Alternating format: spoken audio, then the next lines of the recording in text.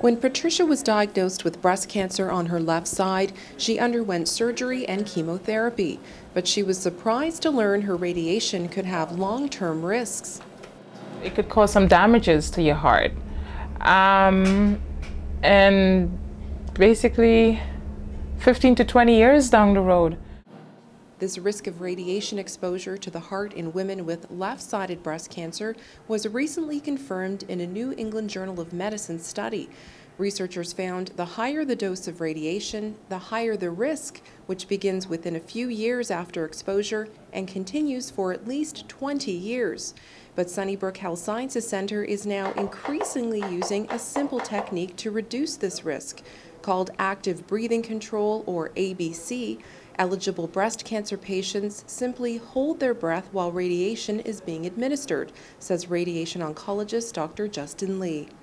Historically, there's a risk of uh, an increased risk of heart disease with radiation, uh, and that's decreased with time. But we hope that this uh, additional technique would be helpful for some patients um, to further reduce their risk and further reduce any radiation dose to the heart. Snorkel here? Patricia has been using ABC during her treatments. She wears a clip on her nose and a snorkel type device in her mouth. This equipment helps measure and hold her breath during radiation, and she can release her breath anytime just by pressing this button.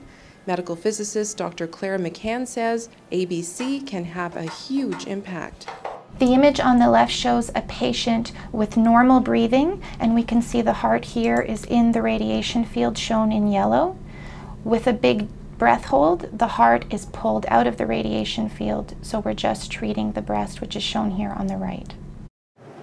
Okay, when you're ready, take a deep breath in and hold, please. Patients require a certain anatomical shape to benefit from this technique and need to be able to hold their breath for a minimum of 15 seconds. Once we realize that a patient will benefit from this treatment, we set them up with a device and we help them get comfortable with the technology. So we actually put the snorkel in their mouths and we ask them to hold their breath repeatedly. Once they do that, we determine what breath hold is comfortable for the patient for treatment. Dr. Lee says because so many more women are surviving breast cancer, reducing side effects has never been so important. If we use this technique and protect the heart in, in, in various ways, uh, we can hope to reduce the longer term uh, side effects that, that were seen in the past. In the future, Dr. Lee says ABC may be used in the treatment of lung or liver cancer to also spare adjacent organs from damage. For now, it's been a great advance for patients like Patricia. While she was initially nervous about trying ABC, she says it's been very easy to do. This is another set of technique that could be done that could save my life also. It sounds scary, but once you get into it, it's a piece of cake. With Sunnybrook, I'm Monica Mattis.